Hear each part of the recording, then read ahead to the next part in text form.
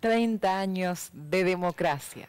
El camino hasta el 10 de diciembre, día por día. Y hoy algo muy especial, porque recordamos el encuentro en ese momento entre el presidente Raúl Alfonsín y personalidades de la cultura. ¿Pero qué personalidades? Jorge Luis Borges se refiere a la importancia de la elección y el trabajo de los intelectuales y la democracia. Mirá lo que dice.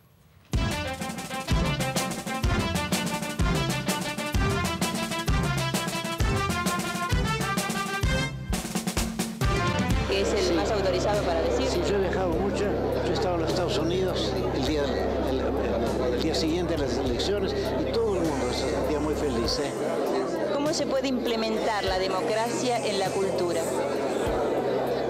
Yo, sí, yo creo que si cada uno de nosotros trata de ser un hombre ético, estaremos trabajando por la patria y por la humanidad también, ¿no? Creo que eso depende de cada uno de nosotros.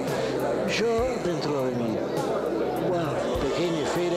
de ser un hombre ético, trataré de seguir haciéndolo. Y creo que es, que es el único modo, ¿no?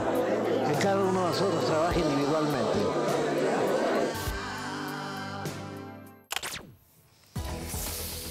Bueno, y recordá que en el sitio de Telefe Noticias podés encontrar más información, videos, material multimedia de nuestro especial 30 años de democracia. Además, una sección especial con entrevistas exclusivas y todo entrando a www.telefenoticias.com.ar.